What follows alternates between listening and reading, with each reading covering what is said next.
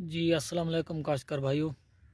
काश्तकार भाइयों, आज हम आपको प्याज पे जो बीमारियाँ लगती हैं, थ्रिप्स और फंगस की तो आज हम आपको उसके बारे में बता रहे होंगे। तो आपको बताएँगे कि ये बीमारियाँ कैसी होती हैं और उनकी अलामत कैसी होती हैं।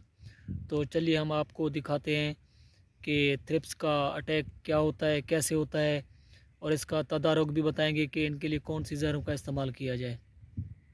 ये काश्तकारों, काश्तकार भाइयों, अगर आपने हमारा चैनल सब्सक्राइब नहीं किया तो आप हमारा चैनल सब्सक्राइब भी कर दें ताकि फ़सलों से मुतल जो भी हमारी वीडियोस हैं आप तक बर वक्त पहुँचती रहें।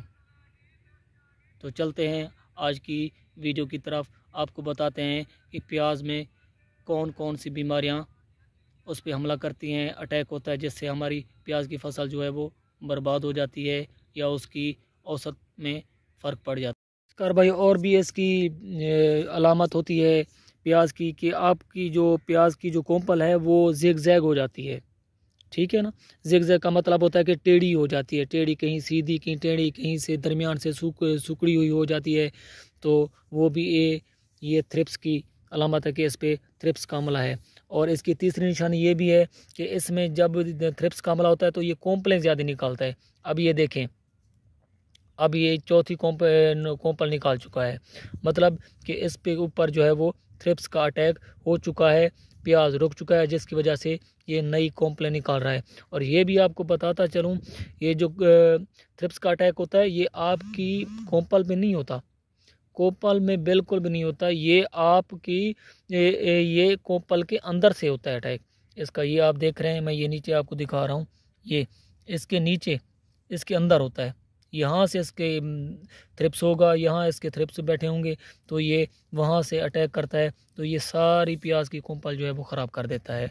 तो आपने इसके लिए स्प्रे जो है वो अच्छे तरीके से स्प्रे करना है इसका, यानी इसमें पानी ज़्यादा हो, यानी आपके पत्ते बिल्कुल नहला जाएँ, तब ये जाके कंट्रोल होगा, वरना आपको ये बार बार स्प्रे करना पड़ेगा काशकर भाइयों।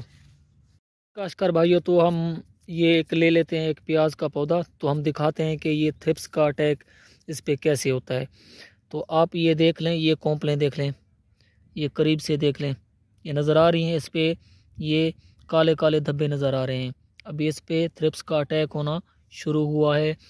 ये अब 10 फरवरी आज तारीख है, डेट है तो ये बस फरवरी में वैसे ये थ्रिप्स का हमला प्याज की फ़सल में हमें देखने को मिलता है।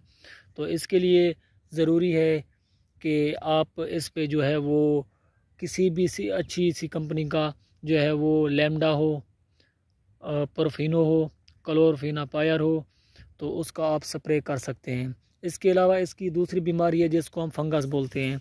फंगस की ये निशानी है कि ये ऊपर से पत्ते जो हैं वो दो से तीन इंच पीले हो जाते हैं।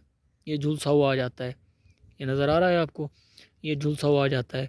तो इसके तदारों के लिए आपने टेबा के नाजोल प्लस एक्सिस्टोबन, जिस प्रोडक्ट में ये दोनों जहर मौजूद हों तो आप उसका स्प्रे करें।